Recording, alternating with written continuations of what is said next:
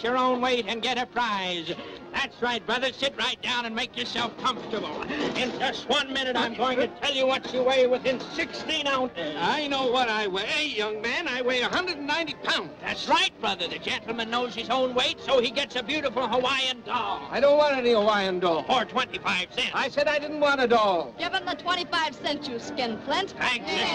Come on now, boy. Get it up. Look at that. Ain't that a beauty? Just Come get it up. on. Smart boy. Say, You're gonna apologize to me like your father said? You bet your life I won't apologize. All right, then I'll tell him you're here. There he is now. Oh, Mr. Schofield! Oh, here, none of that. All right, folks, just a moment now. Step up. Who's next?